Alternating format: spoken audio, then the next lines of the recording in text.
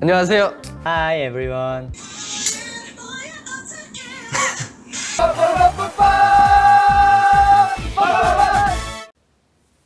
Hey guys, it's Ava. We are obviously not at my desk right now. We are in my living room, and that's because I wanted to give you guys a change of scenery and not film at my table for once. I didn't know where to place this clip, so I think I'm gonna put it in a new type of video that I'm going to do. Uh, I'm basically trying out something called like a Carat vlog. It's something that I've seen a lot of Japanese and Korean K-pop YouTubers do where they will basically just film events of their life that pertain to K-pop for that specific group that they stan. A lot of the times it involves like going to cup sleeve events, buying albums, unboxing albums, opening up mail and things like that. I'm not sure how this is going to change the format of my other videos coming out from here, but there's a lot of things that I do that are K-pop related that don't quite fit into like an unboxing or a haul or like photo card organization, so I figured I would try this out.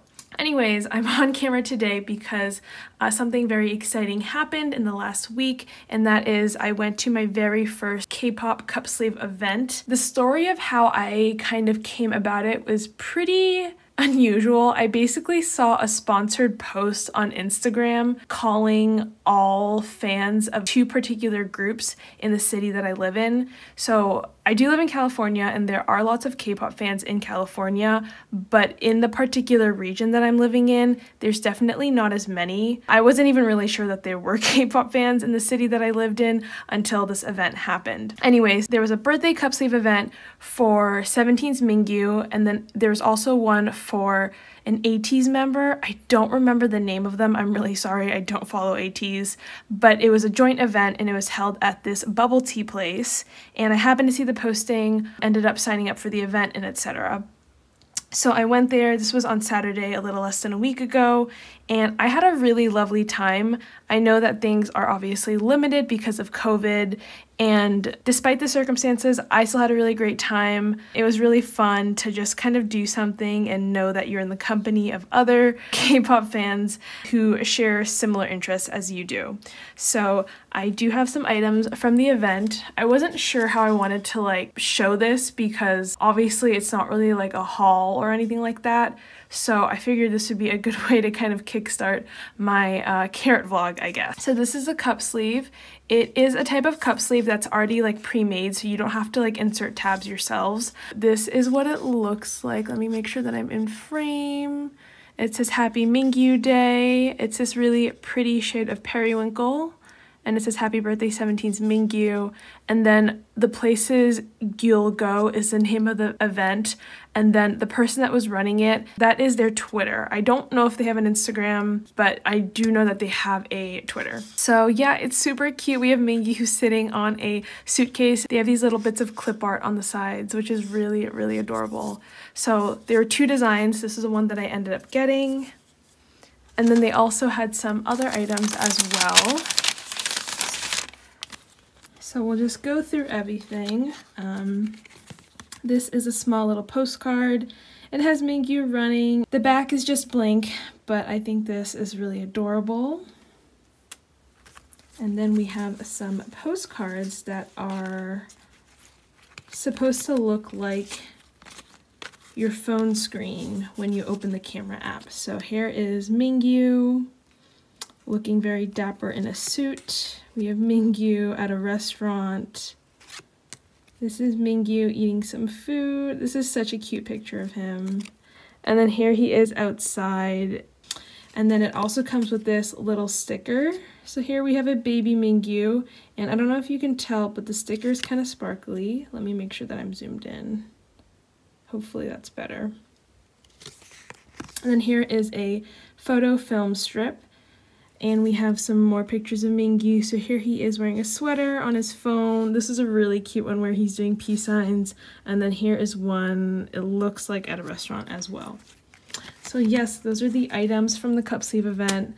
Again, I had a really fun time. It's also really great discovering that there are K-pop fans in my city. I think they're going to be holding another event for 17th anniversary, which is in May, so I'm very excited uh, to go to that as well. And yeah, that's all I really had to show for this clip, and I can't wait to go to more of these in the future. I have no idea where to store these cup sleeve items, so I just have it hanging out on my shelf. And then here is my little Hoshi doll sitting in the cup sleeve. I'll have to figure out a way to store it somehow, I think, but for now it'll live here.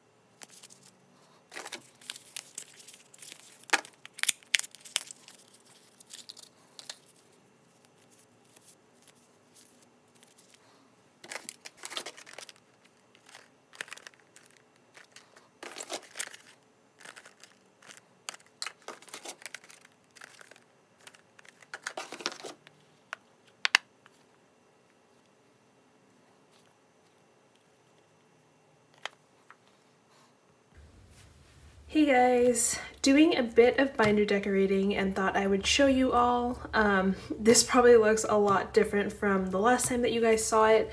I have since made a lot of changes to the inside of this binder. Over here I just have like stickers that I think are really really cute from fan artists that I'm a big fan of.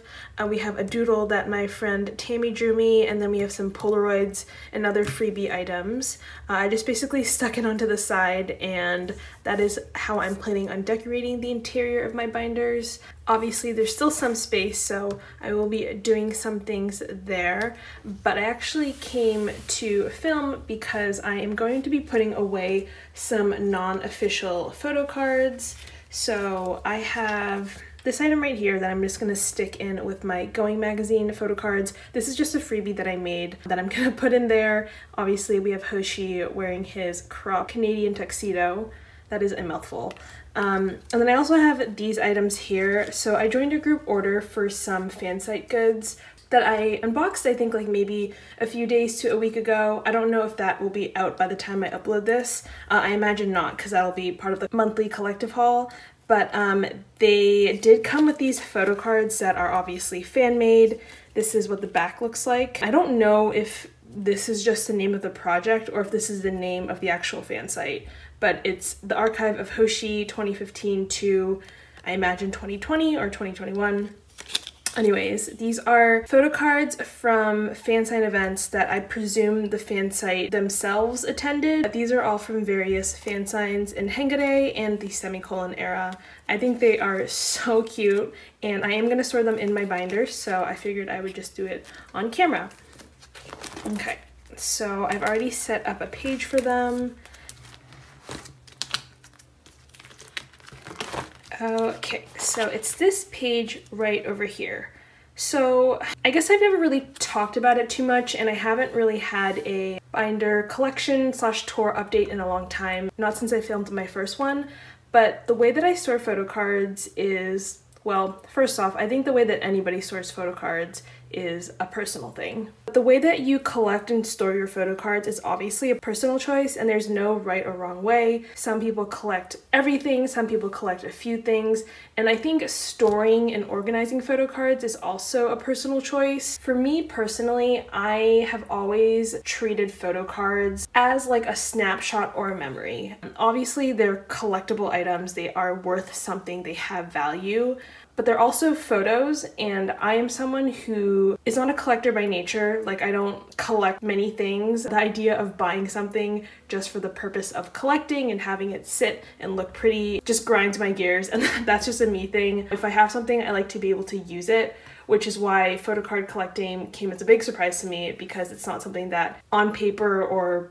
if you ever met me, you would think that I would enjoy doing. But I do really, really love documenting things and I like having tangible items to represent memories and events and things like that. So I am into film photography, I am into photography in general, and I really love photos and I love keeping like little souvenirs or items as a way to remember and to recall things that I've experienced or concerts that I've been to or trips that I've went on and things like that. So for me, I've always viewed photo cards as a snapshot of that particular era and all the events that took place in that era. And when I look at photo cards, there are certain memories that I associate with it. So obviously I've not been a Carat for super, super long, so I didn't experience all those events real time or firsthand, but you know, seeing a photo card from the teenage era brings to mind seeing that clip of them doing the behind the scenes or the photo shoot or watching the actual music video. So I have started taking to including fan-made photo cards as well as photo cards and pictures that I've created into my actual collection because those are the events that I remember happening around the same time as they were promoting that certain song. So for example, if you look at this page, this is one of the pages for Hoshi semicolon items. There's actually only one official item on this page, and it's this Metsima fan sign photo card. Everything else on here was created by me, so I have a Polaroid, and then I have these cards that I made, and they're just events that took place in 2020 that I will always remember um, looking back on this era or the moments that happened before this era. So we have like Going 17 episodes. These were two of my favorite ones that I included on here. This is of course from their anniversary video, which took place well before semicolon, but just put it on here anyways. And then this is of course during Hengare. So I don't think I'm gonna go back and change the pages that I have for his earlier things, but at least from now and here on out, I think I'm going to incorporate other items that aren't like official into these pages as well. Anyways, that was a very long introduction. I apologize for that. These are the photo cards that we have here. Let's put them in sleeves. Okay. So as you might already see, there's already one photo card that's already in here, and that is one that I made this was a screenshot or screen capture that I took during my fan sign with Hoshi. That's of course going in the middle and then surrounding it will be these other ones. These are so cute. Oh my gosh. I love this one so much. Oh. So these are just Dragon Shield sleeves. I used the Clear Classics and this is the last one. Okay, so let's see how I, I think I already kind of came up with the game plan on how I wanted to arrange these. We're gonna do these ones up here. These two are definitely from Hengare. I can't remember if this one was also from Hengare. No, it's not. This one's from Semicolon, as you can tell from the background. But his hair looks kind of greenish, so I'm gonna put it up there. And then we are gonna put these two to the side and then I think I'm gonna do that. How do I feel about that? Oh no, we'll do this because these have hand poses. So yes. The other thing too is that obviously while I did not attend these fan signs, they were attended by other Carats. I do love watching fan signs of 17 with other Carats because I think it's just so so nice to see them interact with fans. I think they're really, really cute. There's some really cute fan call videos that are out there for all the members. And obviously, while I personally did not attend them, just seeing them um, is just really lovely. So that is this page. I think it's so cute. I really like it actually. So that'll be here. That's the end of my semicolon chapter, I guess. And then this is just a card that I made that utilizes one of the photos from the Going magazine. And this is gonna go right in the center. I have his official Going magazine photo cards surrounding him, so he will look like that. So yes, that was a little small organizing of some photo cards in here. I will be doing a binder update soon. I am waiting to do it all at once and the only thing that's kind of holding me back right now is my 17 binder because I want to finish my collection for an ode before I film it. So I'm just waiting on some photo cards to arrive and then I will be done with that. And then once I am done, I can go ahead and film updates for all my binders, including Hoshi 17 and then the other groups that I collect as well thank you